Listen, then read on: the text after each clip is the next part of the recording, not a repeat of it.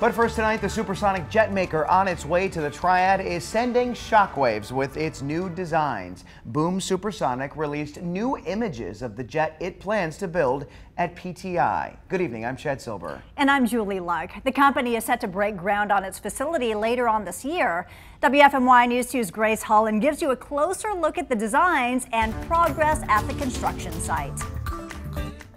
This is what Boom Supersonic says its Overture jet will look like. The company revealing the concepts after it says it did testing and simulations. The plan is for this to be a supersonic jet like the Concorde, but more environmentally friendly.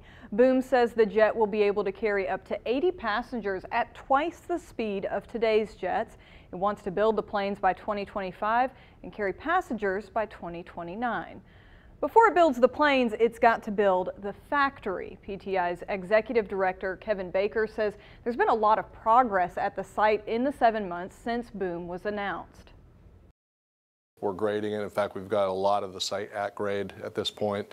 Uh, we continue to walk, work with the company um, as they, they lay out their facilities and uh, modify that design. And it's, you know, that this is a very fast-paced project, and luckily we had a lot of this underway.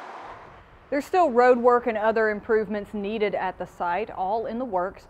Boom is projected to bring 1,700 jobs to the airport, but Baker says more could follow as other companies take notice. There is a lot of activity right now, uh, like I've never seen.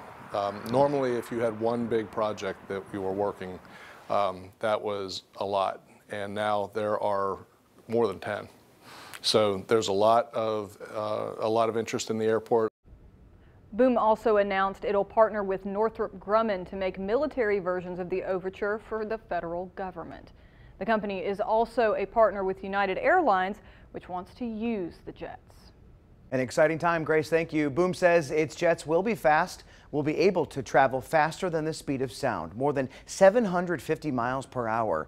Boom says this extra speed will allow pilots to cut flight time in half, but it says passengers won't be exposed to what are called sonic booms. It's basically a loud noise similar to thunder once the plane moves faster than the speed of sound.